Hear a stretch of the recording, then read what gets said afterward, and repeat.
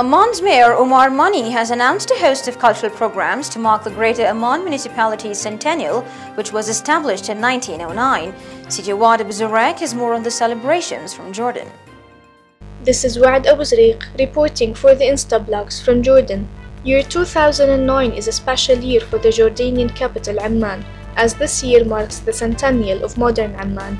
Mayor Omar Maani announced that celebrations and festivals at an estimated cost of 1 million Jordanian dinars will be hosted during the course of this year to celebrate this special anniversary.